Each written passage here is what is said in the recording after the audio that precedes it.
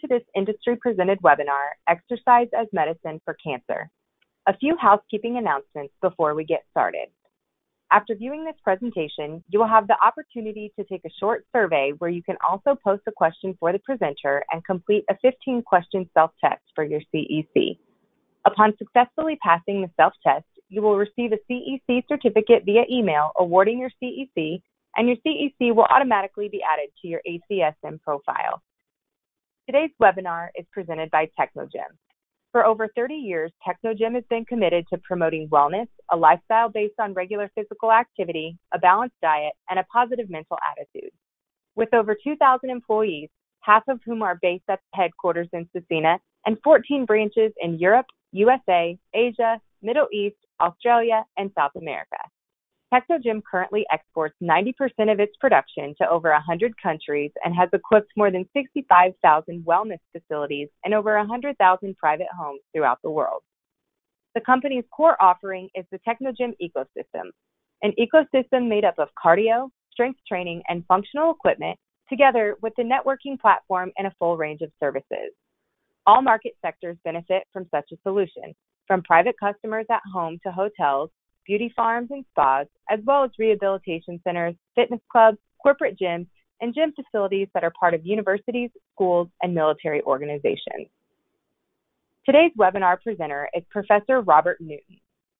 Dr. Newton is a professor of exercise medicine at Edith Cowan University, Perth, Western Australia. In 2020, he was appointed as a Vice Chancellor Professorial Research Fellow in the Exercise Medicine Research Institute. In 2019, he was named the Western Australia Premier Scientist of the Year, and in 2018, Professor Newton received the Career Achievement Award from the Cancer Council Western Australia. Professor Newton has published over 800 scientific papers, including 400 referred scientific journal articles, 450 conference abstracts and papers, three books, 16 book chapters, and has a current Scopus H index of 75, with his work being cited over 19,000 times. As of 2020, Professor Newton has attracted over $38 million in competitive research funding. It is with great pleasure that we present to you Professor Robert Newton. Welcome to this presentation on exercise as medicine for cancer. My name is Robert Newton and I am Professor of Exercise Medicine at Edith Cowan University in Perth, Western Australia. I would like to sincerely thank the American College of Sports Medicine and Technogym for providing me with this opportunity to present to you today. So, exercise as a medicine. It is a term which is being increasingly used in allied health and medical care. It is the physical assessment and prescription of exercise specifically for the prevention or treatment of injury or illness. Now, whilst many would not see exercise as medicine, I believe there is strong rationale that it is in fact an actual medicine. And the reason why is that it drives endogenous medicine, driving and stimulating the body to produce its own medicine internally. And these include a whole range of hormones and cytokines, but also an enormous immune system responses as well. And so, very much the exercise is causing uh, the release of this medicine from, our, if you like, our internal pharmacy. And similar to uh, exogenous uh, pharmaceuticals, then uh, it is switching different pathways off and on and producing considerable changes within the body's uh, internal, internal biochemistry. But exercise as a medicine does far more than this because it has the capacity to drive direct structural adaptation and repair. It influences blood perfusion and vascular adaptations. But it also facilitates other therapies and ameliorates side effects. This uh, figure is uh, from Kerry Courneya's group published uh, in 2007 and I think it summarizes very nicely the application of exercise medicine across the cancer continuum. From pre diagnosis, where we know that being physically active is important to reduce your risk of getting many cancers. But then at this point of diagnosis here, application as a pre treatment. So, if you like, neoadjuvant, in other words, a treatment which is provided prior to the main treatment. And a lot of research and clinical practice showing that this is an important time to prescribe exercise medicine. As one example, a prehabilitation, if you like, leading up to surgery to remove the cancer. And here, uh, exercise very important for increasing the resilience of the patient, perhaps uh, make their body composition more healthy, increase muscle mass, reduce fat mass. And the evidence is quite um, convincing now that this improves the actual uh, surgical procedure, reduced uh, post-surgical complications, a whole range of benefits. It, uh, exercise then can be actually applied during treatment for uh, during chemotherapy or radiation therapy or some new work coming out applying it during uh, immunotherapy. And uh, the key reason here is that it appears to reduce the treatment side effects. So all treatments, all cancer treatments will have some level of toxicity. They will produce some uh, negative effects in the patient, and these can be quite uh, concerning. But uh, exercise has been demonstrated in uh, hormone therapy, chemotherapy, radiation therapy to actually reduce many of these uh, side effects. There's also emerging evidence that will actually increase the treatment effectiveness, and we'll come back to this a little bit later. And then we have, if you like, the uh, post-treatment phase here, and uh, I guess looking as a exercise as a rehabilitative uh, therapy to help the patient recover from their chemotherapy or their surgery, radiation therapy, to regain uh, physical uh, capacity and fitness, but also improve their body composition and also disease prevention here, such that it uh, reduces their risk during this phase of developing further chronic diseases such as cardiovascular disease or type 2 diabetes. Many cancer treatments actually greatly increase risk of uh, other um, chronic diseases. So this is an important uh, application of exercise medicine here to try and reduce that risk. It's also been demonstrated that being physically active will reduce risk of recurrence of the original cancer. And this is very top of mind for any uh, cancer survivor. Will this come back? And uh, exercise, again, critical there to reduce that risk of recurrence. And finally, we see exercise as a medicine uh, in patients which can no longer be cured of their cancer. So uh, they are in a palliative stage and uh, exercise, most importantly, I think, for the maintenance or uh, the slowing of the declines in quality of life. And this, again, very important, keeping the patient as uh, physically able uh, as possible to maintain quality of life. And increasingly, we're seeing exercise used here with the potential to actually extend survival. And we again, we'll revisit this later in the presentation. This is a quite a nice uh, prospective uh, analysis of prospective cohort studies and looking at post-diagnosis exercise and cancer-specific mortality, uh, published by Friedenreich and others in 2016. And uh, again, this is one of many um, meta-analyses that have been completed, and they all come to pretty much the same conclusion.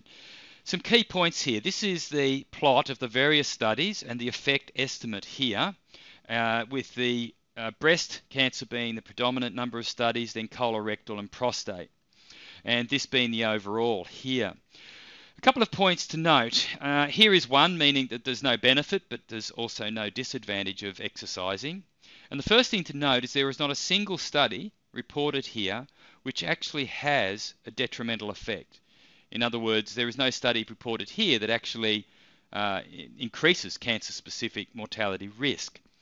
Now, this is highly consistent. There, uh, across the last couple of decades, what we're seeing is that exercise, physical activity, is quite safe for cancer patients. And uh, I guess this is uh, important because there's, there's uh, not so much now, but certainly 10 to 20 years ago, there was concerns amongst clinicians and patients that exercise would actually exacerbate their disease, that it would make it worse uh, or would bring on uh, metastases and, uh, uh, and worse morbidity and mortality. But this really hasn't been borne out in the scientific um, research. What we see here is varying levels of risk reduction. So across all of these studies, what we observe, or what the authors reported, was a 37% overall reduction in risk of cancer-specific mortality, comparing the most versus the least active patients. So a pooled relative risk of 0.63. So this is quite an astounding outcome that exercise, physical activity, is actually improving survival in cancer patients.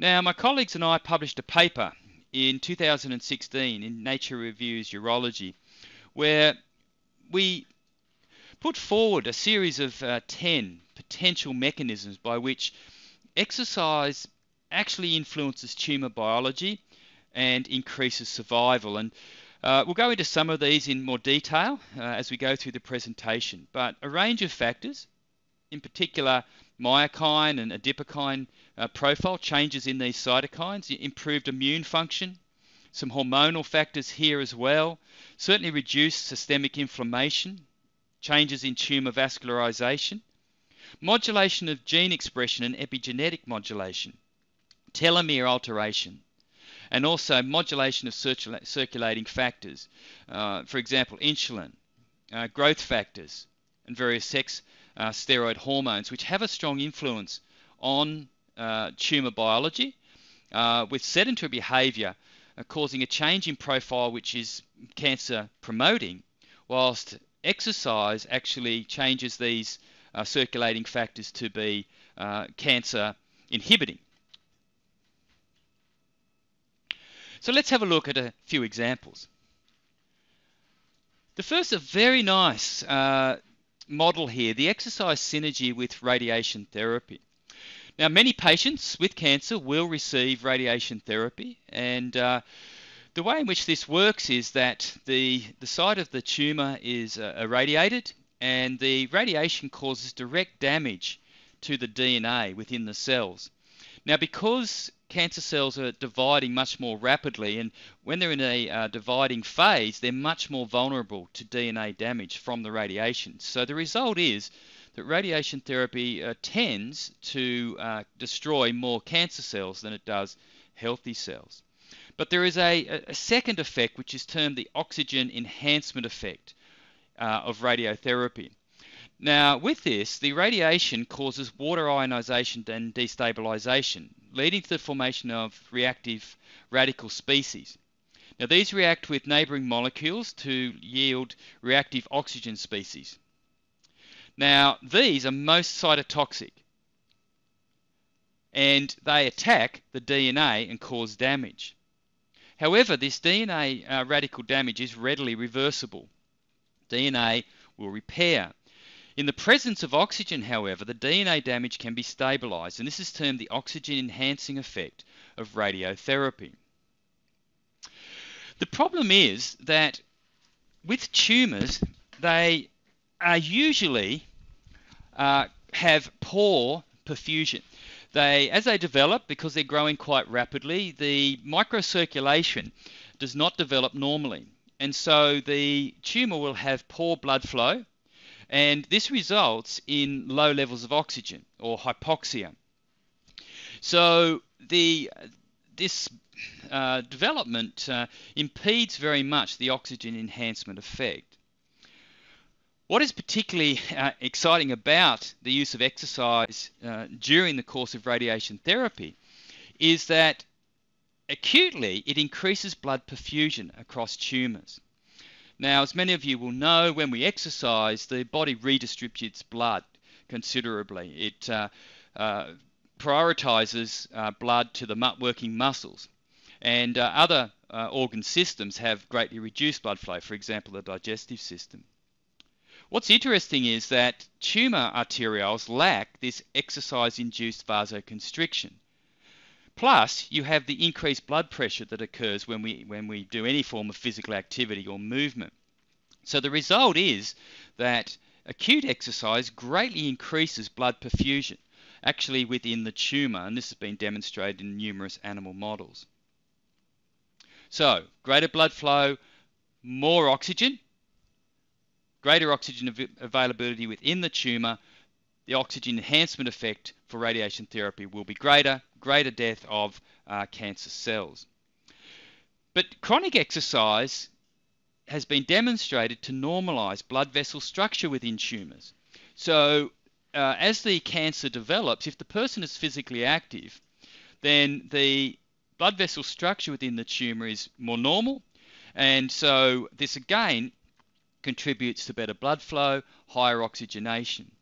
There's also a, a, whole range of other reasons why this is important because the, uh, the poor vascularization favors cancer cells and is a problem for normal cells. So, uh, cancer cells rely on uh, anaerobic metabolism, glycolysis, and uh, they do much better in a uh, hypoxic, a low oxygen environment whereas normal cells uh, don't. And so this, this favours the development of cancer cells. The other aspect to this is with a poorly developed um, vascular structure within the tumour, it, uh, the blood vessels themselves tend to be leaky and it is more and this also due to the low levels of oxygen and a, a whole lot of uh, um, effects going on there the cancer cells are more likely to metastasize. They're more likely to leak out of the, uh, the main, the primary side of the tumor uh, into the uh, systemic circulation and then uh, develop in other sites in the body. And of course, this is a, uh, a major uh, issue and, and contributes to much higher mortality with, those, with these patients. So, what is the take home message from this? Well, Cancer patients must exercise chronically at all stages of cancer treatment to try and uh, maintain the best possible um, uh, circulation, microcirculation within the tumour and to in ensure that it has high blood flow and good oxygenation. Now, also, we are currently recommending that cancer patients exercise immediately prior to radiation therapy, and we have commenced a randomized control trial where we have the patients exercising for 10 minutes or so immediately before they go into the uh, linear accelerator to receive their radiation therapy. Now, there are uh, many such studies uh, examining survival and the body composition of the patients in, in different cancers. And I just draw on this uh, particular study here. And what they, uh, in this particular study, this was uh, patients with metastatic breast cancer and they followed them over many years, up to 10 years post the initial uh, CT scan. And this is the actual survivorship uh, function estimate here. Interestingly, these two curves separated quite quickly with the sarcopenic patients versus those patients that were not sarcopenic. So muscle mass appears to be very important in terms of survival. Radio density was also analysed. So radio density is a reflection of the quality of the muscle. Again, we see rapid separation of the survival curves here. Those patients with low radiodensity, in other words, poor muscle quality, uh, they have a, a much lower survivor function estimate. Certainly, adiposity was significant. Uh, here we have the three tertiles or thirds in terms of adiposity, and the the uh, the uh, highest third of uh, adiposity certainly had a, a much poorer survival estimate. So the results of this uh, median follow-up of six years, there was around 619 deaths among the 3,000 some patients. 34% sarcopenia, 37% had low muscle radio density. Interestingly, sarcopenia, there was a 41% greater risk of dying. And this was an increased risk regardless of the level of adiposity. An increased muscle volume of one standard deviation resulted in a 10 to 13% reduction in risk of dying. So, muscle mass appears very, very important in terms of cancer survivorship. The highest tertile of uh, adiposity compared to the lowest, 35% greater risk of dying. Now, uh, these were metastatic patients uh, here, but we've seen similar reports for uh, patients in stage 2 to 3 breast cancer as well. So, take home message from this body composition assessment should be routine for cancer patients, in particular to highlight those patients that are sarcopenic.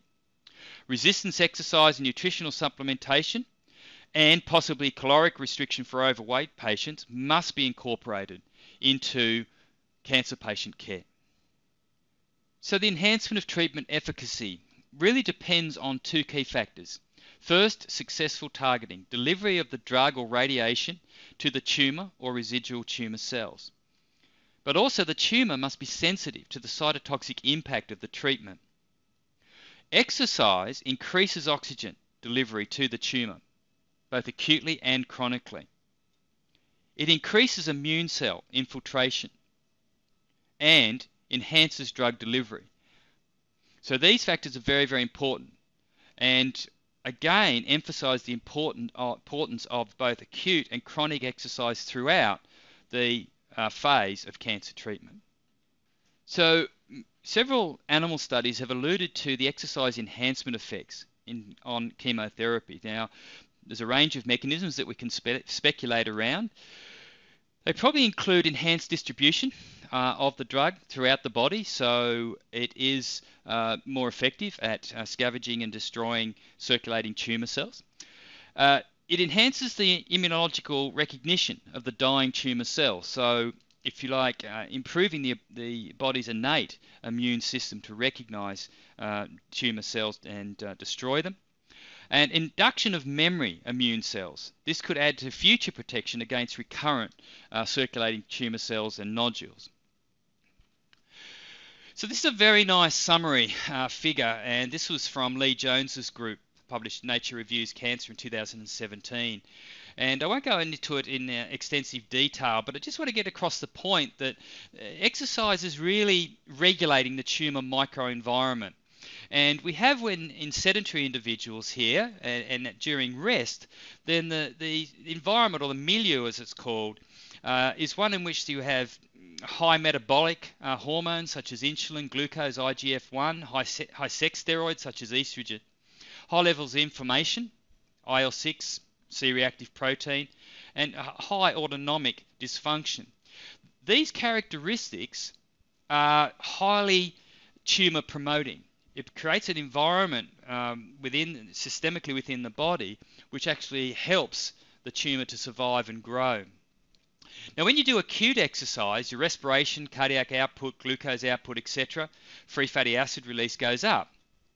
Also, tumor perfusion, O2 delivery, catecholamines go up. Hypoxia comes down, so greater oxygenation into the tumor. And the shear stress, so in other words, the, the forces on the, the blood vessels also increases. Now this has quite an inhibitory effect as shown in, uh, uh, in red here. Now, with repeated bouts of exercise, you have physiological adaptation and it resets the physiological set point. And we have a huge interaction between fat tissue and muscle tissue, heart, liver, bone, all interacting with long term exercise here to change the homeostatic control circuits and really alter the systemic environment. And again, this creates in a fit and trained individual here where we have low levels of insulin, glucose, and IGF-1, low levels of sex steroids such as estrogen, less inflammation, and less autonomic dysfunction. And basically a resolution also of immune homeostasis.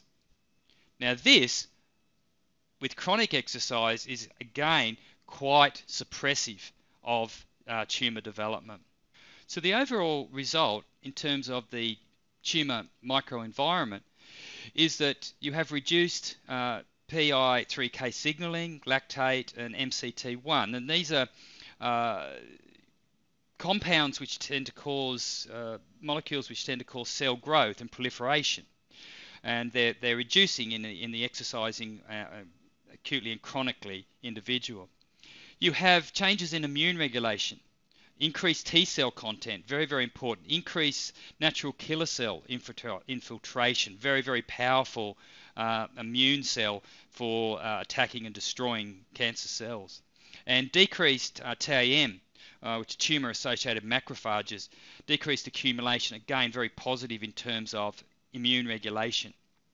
And finally, within the tumour microenvironment, angiogenesis is occurring here with producing decreased hypoxia, increased vessel maturity, increased pericyte coverage, uh, all resulting in quite significant uh, suppression of tumour development, in particular the um, metastatic uh, process as well. So this is a, a, very nice model. Again, this is from Lee Jones's group, and it's describing the therapeutic window. And it's very nice because it, it really encapsulates the, the two effects that exercise has. It shifts the treatment efficacy left. So if we look at treatment efficacy here, this is the um, response versus the treatment dose here. It shifts, shifts the treatment efficacy to the left, meaning that uh, at a, uh, a lower treatment dose, you have higher response. But it also shifts the treatment toxicity to the right because we know that exercise reduces um, therapy uh, toxicities. And so the result is it increases the size of the therapeutic window. Just to draw this together in, in terms of the acute and chronic effects. So this is a, a paper from the uh, Denmark group uh, led by Pernille Hojman. And it describes very nicely the acute dosing, if you like, of exercise medicine because each time you perform an exercise bout, you get spikes in exercise factors, uh, which reduce tumor growth and cancer risk uh, from acute exercise. And if you like, this is like taking the dose of medicine. And these myokines and catecholamines uh, spike up and then recover for rest and spike up in concentration with each exercise bout and that's that's that's beneficial. It's it's very similar to um, regularly taking a, uh, a, a pill, a, a, pharmaceutical drug, where you take it perhaps once per day. But you also have the uh, training adaptations as well, which decrease the risk factors. And uh, some of these may be dependent on fat loss, and this reduces again tumour growth and cancer risk in the long term because uh, with chronic training, as fitness improves here, we see that insulin comes down, sex hormones and inflammatory markers are reduced, giving the chronic effect of exercise. I want to move on and just dig into some details and uh, just some, uh, in particular, around uh, the different uh, effects of exercise and uh, just some of the nuances of it. And the first one I want to talk about is the interference effect. And many of you will be familiar uh, from your basic physiology that resistance training can be interfered with by aerobic training and vice versa. And uh, for most of us, this is not a problem because we have intact immune systems and we're relatively healthy. It is a problem in elite athletes, of course, and uh, elite strength athletes, you know, really try to avoid uh, any aerobic exercise because it will compromise their, their strength and muscle mass. Uh, this is interesting because this was a study that we published in, uh, we presented at the American Society for Clinical Oncology meeting in 2014. And uh, what we showed here in a, in a a six month intervention that uh, we had three groups, and I'll just talk you through it. Uh, the three groups were a delayed group, so they just received usual care, uh, an aerobic and resistance training group, and then we had an impact loading and resistance training group. The impact loading was implemented to try and um, prevent the bone loss that occurs in men undergoing androgen deprivation therapy for their prostate cancer. I point out that the resistance training was identical between these two groups. But if we look at the changes in muscle strength here over this leg, over this time period, we see that there's a significant difference between the group that didn't do the aerobic exercise. They did the same resistance training here, but the aerobic the group that did the aerobic exercise as well had lower increases in strength. And it could be this interference effect that's occurring. You might say that, well, the impact loading uh, produced further increases in strength, but it's unlikely. It was very low volume, uh, and uh, it's unlikely that that contributed to strength. And this is probably borne out, and when we look at the uh, the changes in whole body lean mass, because we've got a significant difference here between the aerobic and resistance training group and the impact loading and resistance training group. A marked difference in terms of the accumulation of uh, lean mass. And uh, we hypothesized in this that this is due to the fact that this group was doing the additional aerobic exercise, and this was compromising uh, their increase in muscle mass and strength.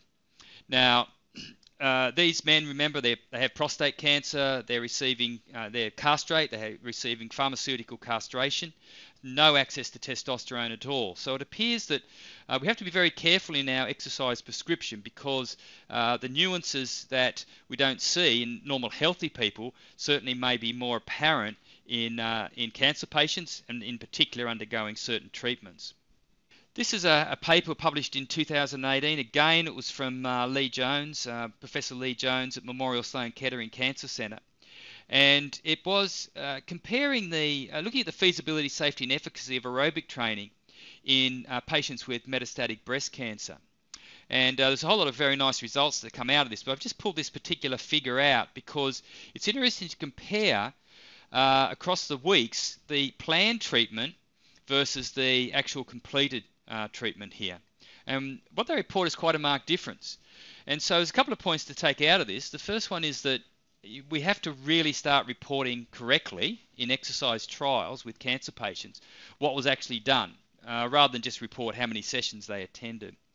But the second thing is that this, with this group, uh, obviously they have advanced cancer, and the uh, the reality is that whilst a certain exercise prescription was planned, the uh, actual completion of it was much, much lower. And, uh, and this is something to consider. And it was clear that certain patients, in particular, if you have a look at this diagram here, there is a vast difference between patients as to what they can actually tolerate in terms of dosage. And we see a number of patients down here that could tolerate and complete less than 50% of the prescribed exercise. This is a, a, study from our own work. This is in patients with high-grade glioma, and these patients are receiving chemoradiation. Uh, it was supervised. It was in an exercise clinic, so uh, you know it had the best chances of having reasonable compliance. But it comes back to what the patient capacity is, and we see here quite a marked um, disparity or, or spread in terms of response. Uh, and these are the, the numbers above the bars are the actual patient numbers. And we see that certain patients, patient 20 here, we see actually declined markedly in leg strength over the course of the three month intervention. And that same patient we see here in repeated chair rise here, number 20, shows no benefit at all, no improvement. Look at timed walk. This same patient here actually got markedly slower in the time 400 meter walk, 6 meter walk, both usual and fast pace.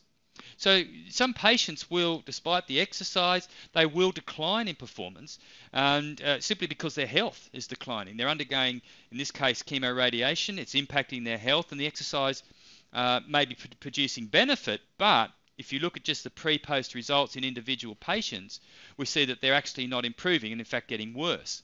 It doesn't indicate that the exercise is compromising uh, their capacity or health. It's just that it cannot overcome the declining health due to their treatment or disease. Which brings us to the uh, exercise dose reporting. I just want to make the point that this is very, very important, and uh, both in research but also in clinical management, is to very closely monitor what the patients are actually doing. And this was a paper we published in Medicine, Science, Sport, and Exercise in 2020. And uh, we went to a thorough analysis of uh, several of our trials and looking at what was the planned exercise versus completed. Now, these patients were somewhat um, uh, less advanced cancers than uh, what was in the Lee Jones study and also in that uh, high grade gliomas paper I just showed you. But uh, still, we see a considerable difference between the planned and the completed. And then we look at training volume over the various session numbers here, and we see that on, on no session do they actually meet the uh, the planned training volume um, either as well. So uh, now what we're proposing is that uh, for aerobic training, it, it, must actually report the not only the uh, whether they actually did the session, but also the duration and intensity of the session. For resistance training, it needs to be reported the training volume uh, as sets by reps by uh, the number of exercises. It needs to be fully reported. Mode. Uh, this is one that uh, is an interesting one because, look, it's important that all patients, uh, cancer patients, move. And they should avoid being sedentary. In fact, the, the American College of Sports Medicine guidelines are that uh, all cancer patients should avoid being sedentary and they should exercise on most, if not every day of the week, regardless of cancer type, stage or even when receiving, receiving difficult treatments. But we do have to be careful about what sort of exercise and what dosage. As you've, you've just shown, that uh, you know, you, you, it's the dosage also probably has to be tailored to individual patients and where they're at. This was a study that we published in Medicine, Science Sport and Exercise in 2018, and it's coming back to that uh, previous study I just I showed you earlier, where we had the delayed exercise, the combination of aerobic and resistance training, and then the impact loading and resistance training. And this was over six months in the darker bar and 12 months in the lighter bar. And this is uh, lumbar spine, bone mineral density, and femoral neck. Now, what's interesting is that there was no difference at 6 or 12 months between usual care and a, an aerobic, fairly intense aerobic and resistance training program. Now, you would conclude from that that exercise doesn't help when it comes to bone loss in men with uh, prostate cancer on androgen deprivation therapy, but that's not the case. The situation is that it was just the wrong medicine. It was the wrong exercise medicine. It was only the combination of impact loading and resistance training that produced significant, um, significantly less bone loss both at 6 and 12 months. So the take home point from this is exercise is not a single medicine. It is many different types of uh, medicine, and the mode and also the dosage has uh, quite large impact on the overall outcome for the patient. Now, uh, several years ago, we were approached by our uh, collaborating clinicians because they were concerned about cancer patients with more advanced disease, and in particular those with bone metastases. So here, this is stage 4 cancer where it has left the primary site uh, and has metastasized to other tissues, in this case into the skeleton. And the recommendation at the time was that these patients should avoid exercise, in particular, they should avoid resistance training, for fear that they might spontaneously fracture. But the clinicians were reporting that these patients were doing very poorly, and that was there a way, perhaps, that we could exercise them. Now, there was no studies at this time where, uh, in a, in a uh, research setting where cancer patients with bone metastases were being exercised. So we developed a uh, randomized controlled trial here uh, with 57 patients randomly assigned to exercise or usual care. And then we exercised them over a three month period. They had bone metastases at various sites throughout their body, pelvis, femur, etc., as you can see. And that's, that is um, determined based on what's called a PET scan, positron emission um, scan here, uh, to determine where these hotspots or uh, bone metastases are. Now, what we came up with was a highly specialised exercise prescription tailored to the individual patient. And we, we borrowed this from the um, high performance uh, athlete research. Uh, and uh, professional practice. Now, if an athlete injures themselves on, in a game on a Saturday, uh, we don't uh, give them six weeks off. If they uh, tear a hamstrings, we just hamstring, we just exercise the other leg and the rest of the body, and that's that's routine in in in sport. So we thought, well, can we apply this to uh, metastatic cancer? And we came up with, with what we call the 3, M3EP uh, program. So multimodal modular exercise prescription for prostate cancer. And with this, we determine from the PET scan, well, the report tells us where the bone metastasis site is, and then we adjust the exercise mode for both aerobic and resistance exercise depending on those sites. So, for example, if the bone metastasis site is in the pelvis, then they can do upper uh, body and trunk resistance exercise. Now, they can do lower body, but we would exclude uh, hip extension and flexion but include knee extension and flexion. The aerobic exercise, they wouldn't be able to do weight bearing, but we would do non weight bearing aerobic exercise, such as uh, stationary cycling, and then they can also do the flexibility. So, this is how the exercise prescription was designed based on metastatic site. Now, the big question was at this time, was this safe? I mean, could they actually do it? The other one was, would, it, would they respond? These are patients that have advanced cancer, stage 4, and they've received a lot of treatment, and many of them are quite unwell, can they actually respond to an exercise program at all? Well, the first off is they will do it. Uh, they completed uh, 32 out of the 36 possible sessions, so 89% attendance. It's safe. There was no exercise related adverse events or skeletal fractures. Could they work at an appropriate uh, intensity? Well, yeah, they could. It was about 12 or 13 um, on the 6 to 20 point Borg scale of um, rating of perceived exertion. They found it tolerable. There was no change in pain whatsoever and no change in pain medication. So it appears safe, it appears um, feasible for these patients to exercise. But can they actually respond? Do they get benefit? Well, here just, here's just some of the data from this paper. What we found was a considerable improvement, significant improvement in physical functioning, and also that's self-reported. Uh, but physical uh, performance, particularly leg strength, increased quite markedly, um, comparing the baseline to three months here. So they can still retain, even with advanced disease, the ability to respond to a, an appropriate tailored exercise prescription.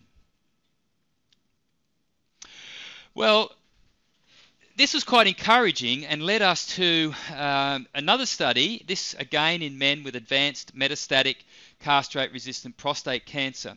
And the protocol paper was published in BMG Open, uh, BMJ Open, sorry, in 2018. And uh, I can refer you to that for more details on this study. And this is a study, it's an international multi site trial uh, randomized. It uh, was funded, or is funded, by the Movember Foundation for some $10 million. And we have two randomized arms self directed uh, exercise arm here with 433 patients as the target recruitment. And basically, we just provided the printed exercise recommendations from ACSM, and then we have psychosocial support around regular newsletters. The exercise arm uh, receives exercise, behavioural support, but also psychological support. And the exercise program involves 96 weeks of supervised exercise, transitioning to self managed exercise. We're using moderate to vigorous exercise, and it's a, as well as a structured resistance exercise program. Now, these men have advanced prostate cancer. They are quite unwell. They have received, uh, most likely, had surgery to remove their prostate. They have received androgen deprivation therapy, uh, many will receive, have received chemotherapy and they're now receiving advanced uh, super anti-androgens. Primary outcome here is overall survival. Now this is important because to this point there is no study in a randomized control trial which has demonstrated exercise to increase survival in cancer patients. We have lots of studies which have uh, tracked uh, patients over time and looked at their survival, but you have the problem of reverse causality. We don't know whether patients who exercise live longer because of the exercise, or do patients that feel better and do better actually exercise more. And uh, it really requires a randomized control trial such as this to prove causality. Now we're looking at a primary outcome of uh, survival. Uh, the median outcome in the control group is expected to be around 35 months, and we've powered the study for a median survival in the exercise group of 44.6 months, an overall hazard ratio of 0.78. We've got lots of secondary outcomes around time to disease progression, time to first symptomatic skeletal related event, etc. And where, as well, we are looking at a lot of biomarkers to get an understanding of how, uh, the, if there is a survival advantage, how biologically is it being produced. The exercise prescription is quite sophisticated and advanced. It's tailored um, specifically to ameliorate the issues causing the greatest morbidity and mortality.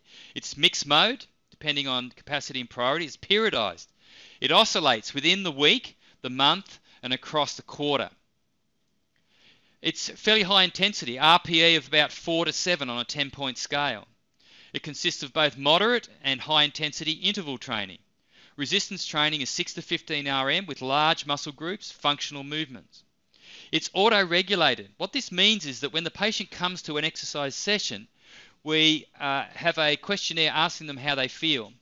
If they're feeling quite uh, sharp and well, with not much fatigue, we'll, we'll increase the intensity of that particular session and possibly the volume. If they are feeling unwell or tired or they have pain, then we will reduce the intensity and volume. We may even cancel the entire session. So this is auto-regulation. Again, it is borrowed from high-performance sport um, practice. We use the same thing with athletes. If they're fatigued from the weekend games or from, from training, then we adjust the volume, intensity, and type of exercise that they'll do at a particular session. There is also nutritional support here around uh, protein supplementation in this study. So this is an ongoing study. Uh, our target is around 900 patients recruited internationally and uh, at the moment we have around 100 and, uh, 140 patients randomized to this trial. So in both of these studies that I've mentioned, we have avoided loading the site of the bone metastatic um, lesion.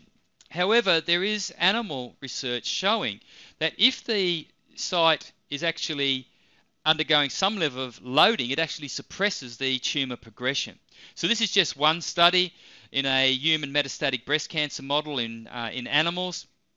And uh, what they showed in, uh, in the tibia here, where they had unloaded versus uh, loaded here, we see at six weeks the loaded still has 100% tibial integrity, whereas the uh, non-loaded only around 30% of the animal's uh, percentage still have an intact tibia. Uh, similarly with the tumour growth, we see the percent of tumour uh, bearing animals here uh, loaded, here it's only around 20%, where the non-loaded is 100%. So something seems to be going on here where the actual loading of the bone is suppressing the development of the tumour. And uh, it's, it's greatly reducing this. Uh, it's probably related to both chemical and electrical signaling between the bone cells and the tumour cells. So this is quite interesting and encouraging. And so our team has launched on two studies, uh, one in prostate cancer and one in breast cancer. And what we're using is controlled isometric muscle contractions to provide controlled loading at the uh, site of the bone metastases.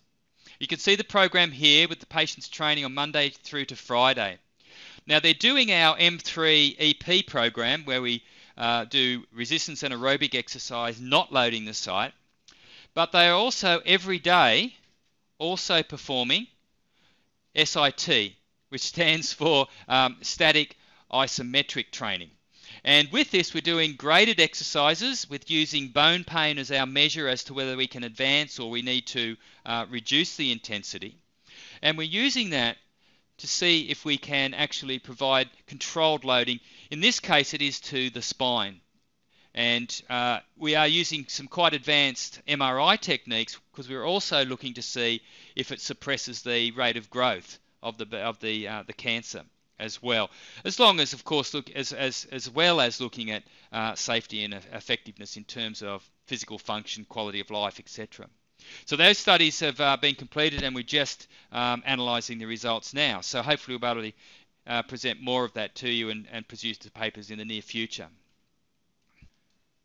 In 2009, my colleagues and I published the Australian Position Statement on Exercise and Cancer. And uh, at that time, based on the available evidence, we uh, stated that patients should be active on most, if not every day, and uh, that they should uh, try and accumulate 175 uh, to 150 minutes of aerobic exercise each week and two or more resistance training sessions. Now, in 2019, we published an update uh, to this uh, statement in the Journal of Science and Medicine in Sport. And the purpose was to uh, integrate uh, the huge amount of research that had been completed over the subsequent decade. One of the major changes in terms of our recommendation uh, contained within our 2019 uh, statement is that we really have to move towards a tailored exercise prescription for cancer patients.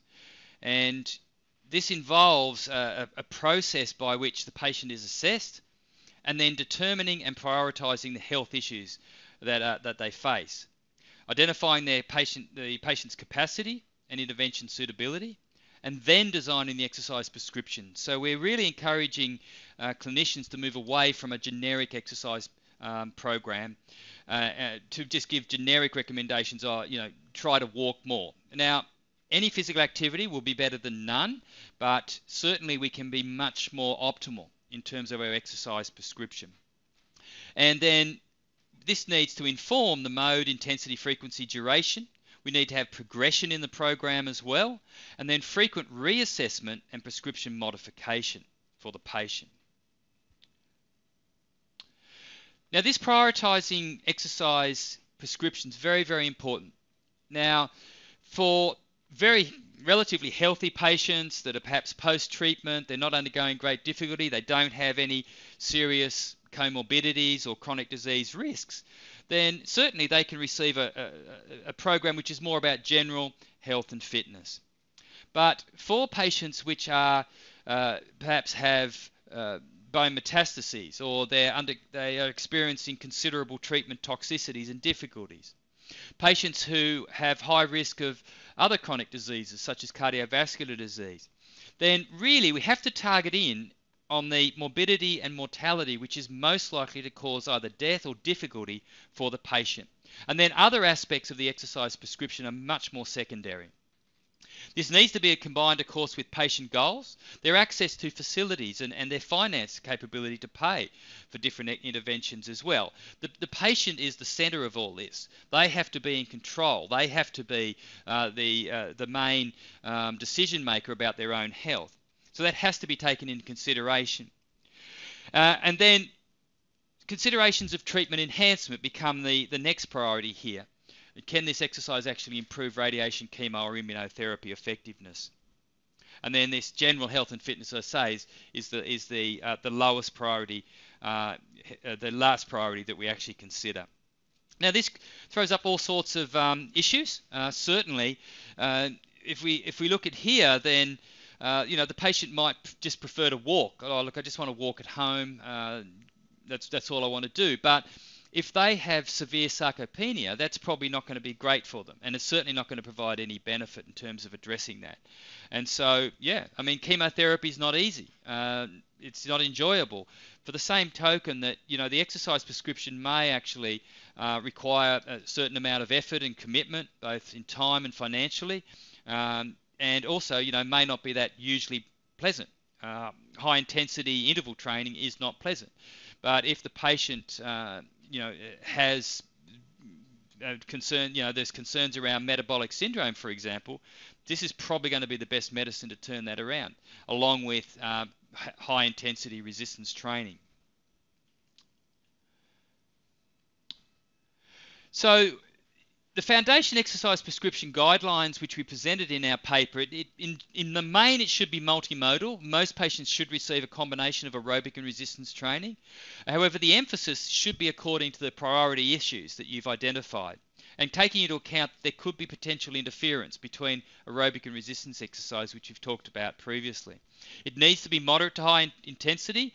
Frequency and duration, most days, you should spread the dosage over as much of the week as possible. It's the same as taking pharmaceutical drugs. You don't take all of your tablets for the week on a Saturday. It's, it's to be spread over the week. So you're constantly dosing the system to maintain the concentration of these, uh, these exercise medicines.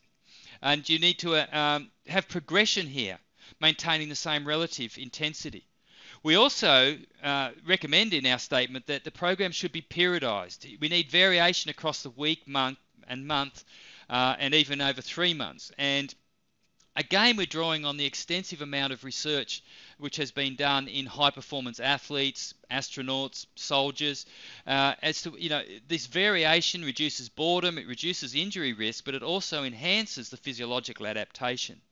And we also periodize around certain events. A good example is chemotherapy. If you know that chemotherapy is coming up in three weeks, you can gradually increase the um, the, the uh, intensity of exercise leading up to that event, is even though it, it, analogous to if you were preparing for a sporting event, uh, you know, an important game or competition. But after the chemotherapy, you will have to drop back in intensity and certainly drop back in volume uh, because they will will have this fatigue and uh, other issues for the for the uh, starting about two days post and continuing for up to a week after the chemotherapy infusion. And I come back, we're also recommending this auto-regulation, which I've already discussed um, in previous slides. So that's the um, uh, overall recommendation. The aerobic exercise uh, should be moderate intensity continuous. We also are recommending high intensity interval training for certain patients.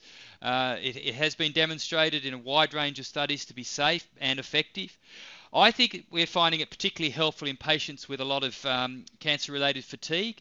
They don't tolerate moderate intensity continuous training very well at all. It's, uh, they find it much easier to do short bursts of high intensity um, aerobic training. Relatively high intensity here. Duration probably needs to be around 20 minutes per session per day as a minimum, but for low functioning patients that can be spread, uh, doing 10 minutes in the morning, 10 minutes in the evening, uh, as, as an example, however it works best for them. And also with cancer patients, you really need to work in with their diurnal rhythms.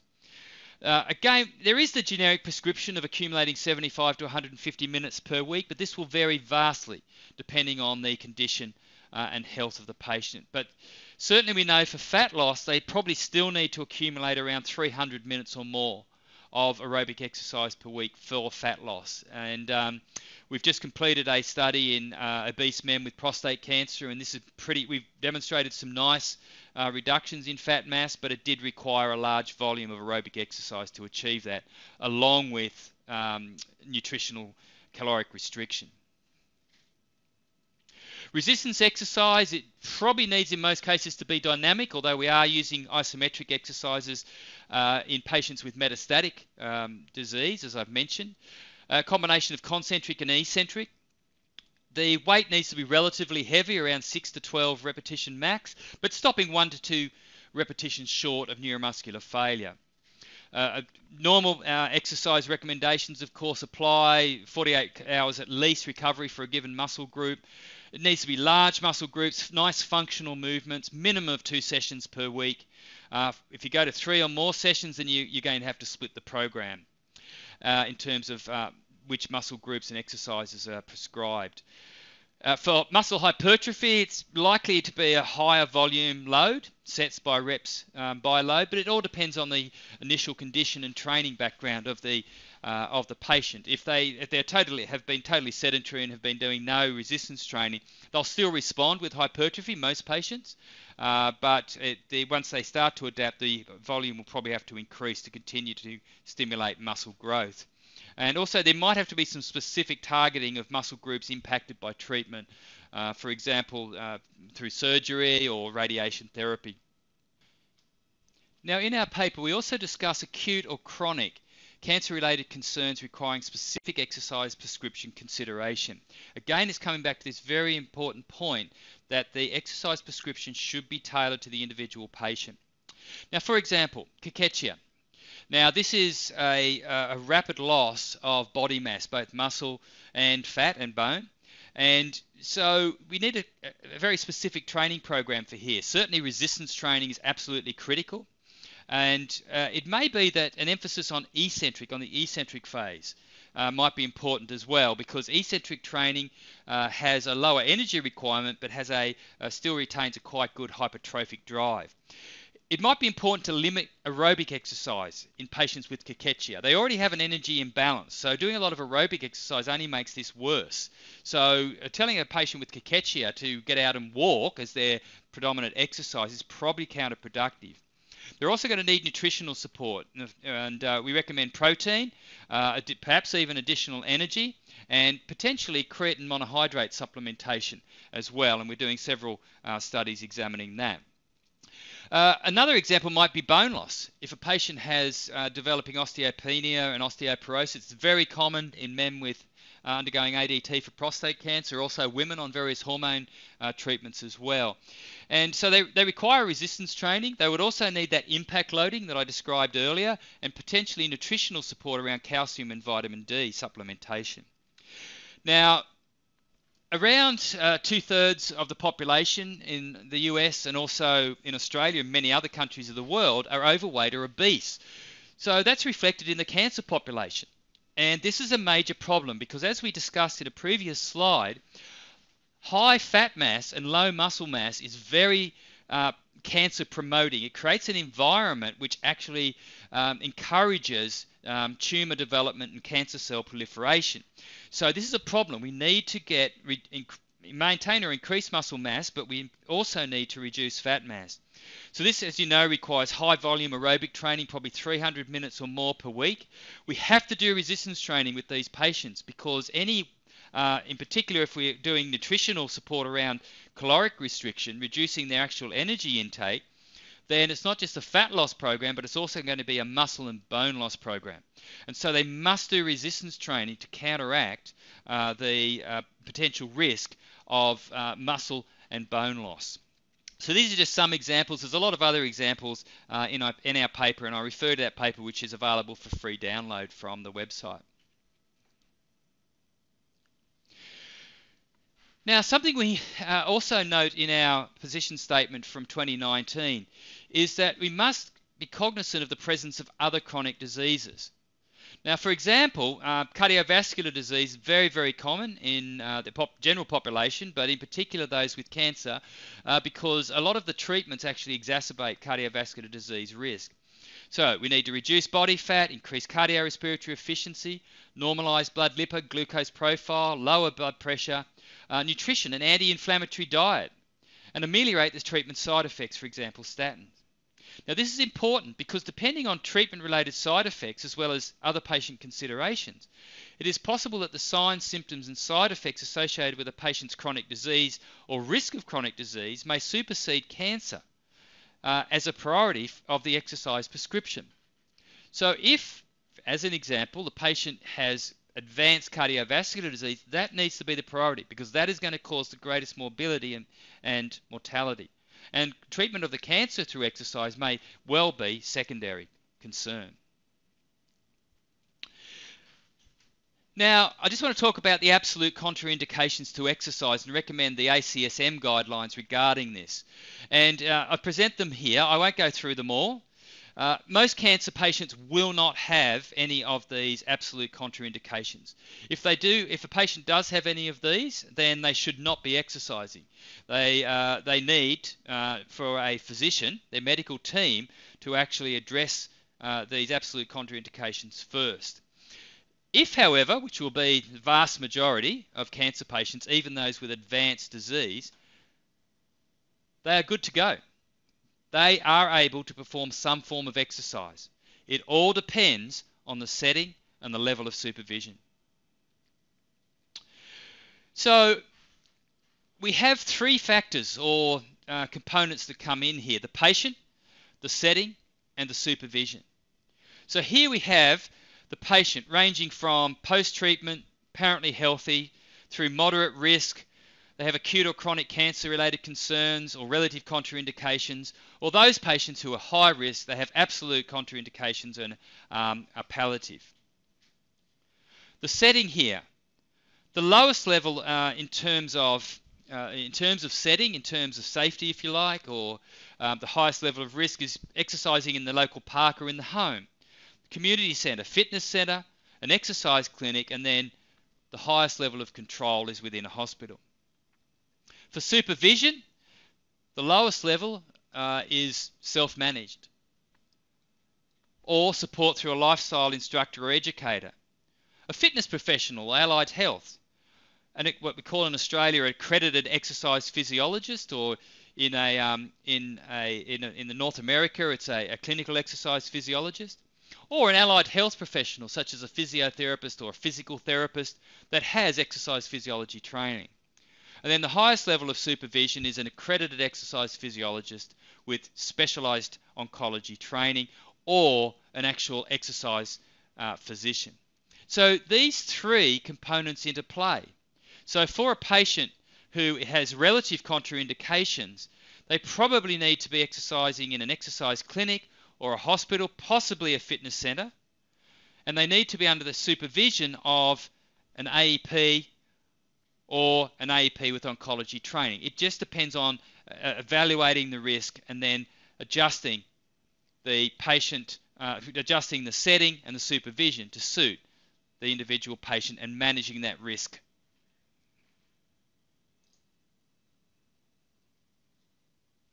So let's turn our attention to a increasingly uh, needed, I guess, uh, an implemented aspect of exercise medicine, and that's actually using telehealth. And of course, the COVID 19 pandemic has really driven this because uh, many countries around the world uh, had social distancing requirements and uh, self isolation, and uh, this meant that uh, patients could not attend exercise clinics. And the same occurred in, in our, our site at Perth, Western Australia. And uh, we have dozens of uh, different exercise programs and, and, clinics that we operate. Uh, we have many uh, research trials as well.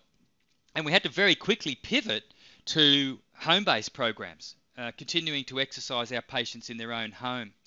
And whilst this was an enormous challenge, we certainly learned a lot.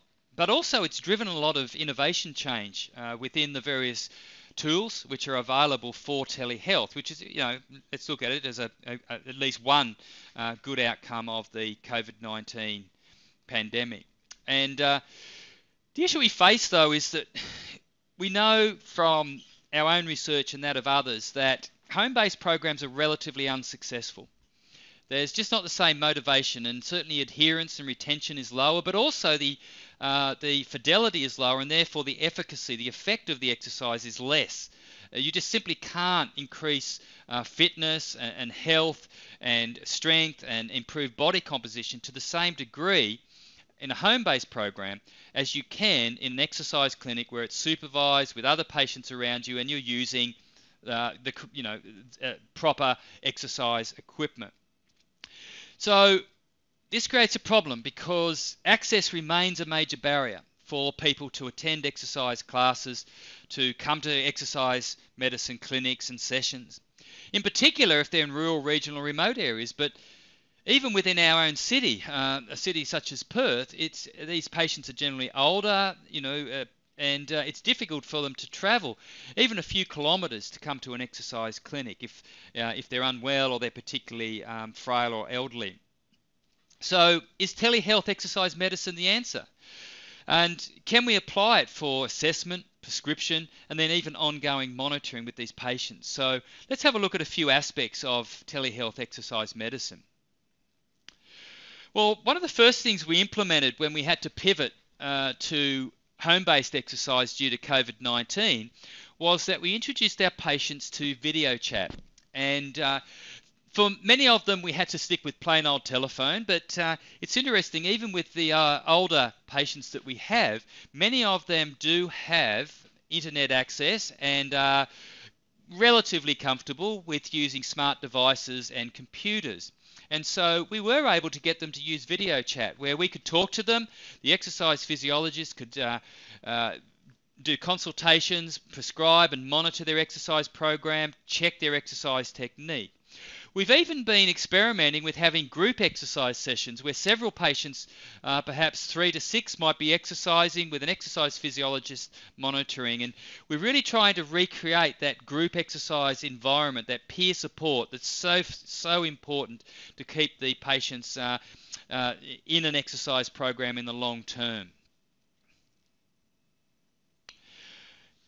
Now, exercise prescription, uh, this has been available for a decade or more, and we use the Technogym My Wellness Cloud solution. So uh, this is a, uh, a software, cloud-based software solution where we can design up tailored exercise prescriptions for the patient, and then they can access it through their smart device or through their computer. It's cross-platform. It works on Android, uh, iOS, so Apple, and well as well as uh, on web browsers through um, on your uh, laptop or desktop computer. Now, My Wellness also allows us to monitor any wearable tech they might have, such as uh, heart rate monitors and physical activity monitors. And it works with um, Apple Health and the uh, Apple Watch, but also Garmin, uh, Fitbit, etc. And allows you to track their workouts and the actual exercise that they're doing. And they can see videos of the exercise. If they're unsure, they can check to see what they're supposed to do and they can record every single set, exercise, and repetition, uh, giving them motivation, but also allowing the exercise um, physiologists to monitor what they're doing. So that's been very, very helpful for us to transition and support uh, telehealth exercise medicine. Certainly remote assessment's been a challenge for us. How do we actually assess and test a, a, a patient?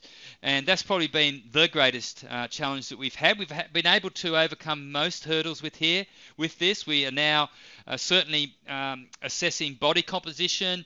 It may only be through height, weight, BMI, and then some skin, uh, some um, uh, circumferences, hip and uh, hip and waist. Uh, but also, we're moving towards looking at uh, some of the bioimpedance devices. They're relatively inexpensive and they can be shipped out to the patient and then returned, lent out to them.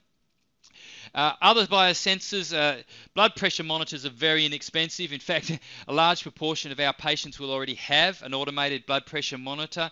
Heart rate, of course, is now in it very inexpensive through um, you know, uh, the Apple Watch, but there's also much uh, less expensive uh, devices as well. And in, uh, you can purchase for as little as $49 Australian a, uh, a watch which is relatively accurate for measuring uh, heart rate and physical activity.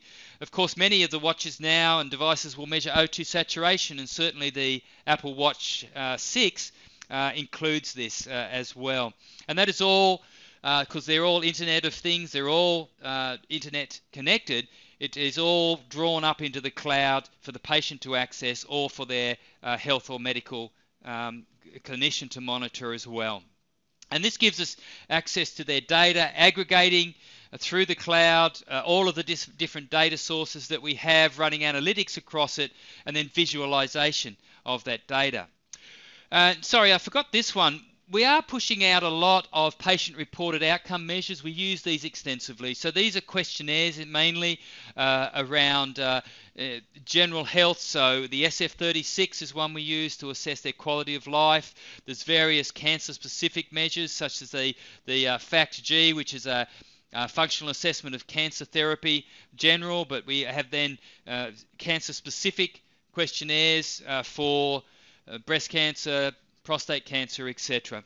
We push them out using Microsoft Forms, so the patient receives a an email with a link they just click on, the form loads up in their browser, they complete the form, and the data ends up straight back into our um, secure cloud-based uh, databases. And so this is really advancing quite quickly, and we are able now to remotely assess our patients and monitor them using these techniques and, te- and telehealth. Now, I just want to finish off with uh, a very interesting study that uh, we've just launched at ECU. And this is using accentuated uh, eccentric resistance training. And uh, this is a study which we're conducting in collaboration with Technogym, and we're using their biocircuit. Now, the biocircuit is a series of exercise resistance and aerobic machines which are all electromechanical. So they're, if you like, robots and they have electromechanical actuators that provide the resistance.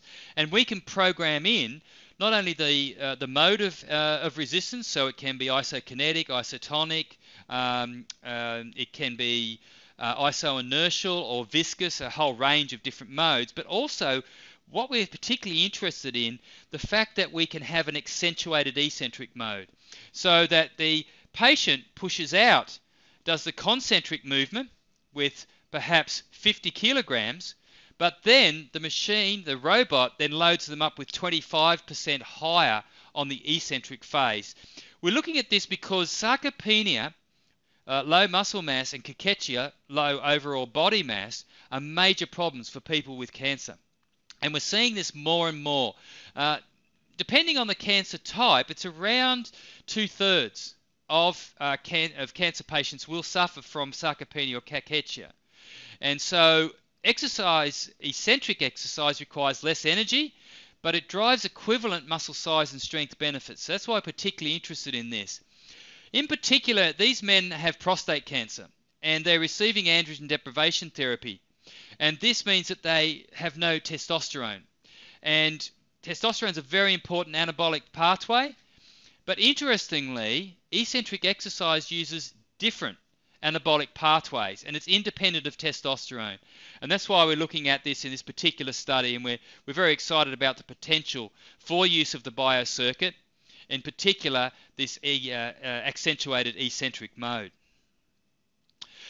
So this has been a long webinar, and I, I uh, appreciate it, uh, all your attention and time. Uh, it's been fantastic. Uh, I've enjoyed it, and I, I, certainly hope that you have, and that you've got some important take-home points from here. I'd like to thank you again. I would like to thank the American College of Sports Medicine and Technogym for the opportunity. I provide my email address and our web address. If you have any questions, I'm perfectly happy for you to contact me directly. I also wanted to alert you to the fact that I am now actively recruiting PhD students to commence in 2021. And if you are interested in this, then I'd really like to hear from you. Uh, these are PhD research projects specifically in exercise medicine uh, for the management of cancer. Please feel free to contact me directly if you're interested. Thank you again. I greatly appreciate your time and attention. Thank you again for attending, and a special thank you to Professor Robert Newton and Technogym for supporting this webinar. As a final reminder, please complete this short survey and the 15 question self-test. Upon passing the self-test, you will receive your CEC certificate via email and your CEC will automatically be added to your ACSM profile. This concludes the webinar.